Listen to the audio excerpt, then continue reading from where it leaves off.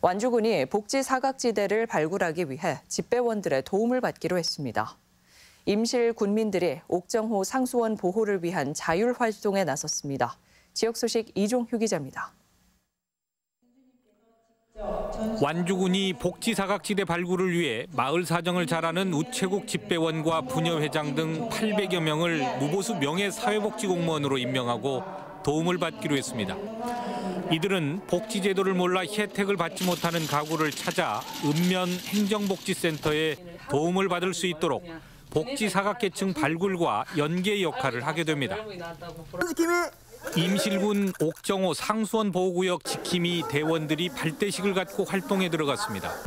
옥정호 인근 주민들로 구성된 감시단은 행락객들이 증가하는 10월까지 낚시와 쓰레기 투기 등 수질 오염 행위를 감시하고 자율적으로 정화 활동을 펼치며 옥정호 상수원 보호에 나설 예정입니다.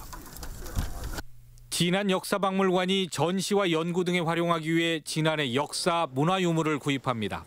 구입 대상은 임진왜란 관련 유물이나 진안의 고지도, 고문원, 그리고 1990년 이전에 촬영된 진안의 사진 자료로 오는 24일까지 진안군과 역사박물관 홈페이지를 통해 접수합니다. 군산시 월명공원에서 제5회 어린이 숲속 걷기 대회가 5월 20일에 열립니다. 어린이들이 월명공원 산책로 3km를 걸으며 다양한 프로그램을 체험하는 대회로 군산시는 6세에서 13세 아동과 동반 가족을 대상으로 참가 신청을 받고 있습니다. MBC 뉴스 이종휴입니다.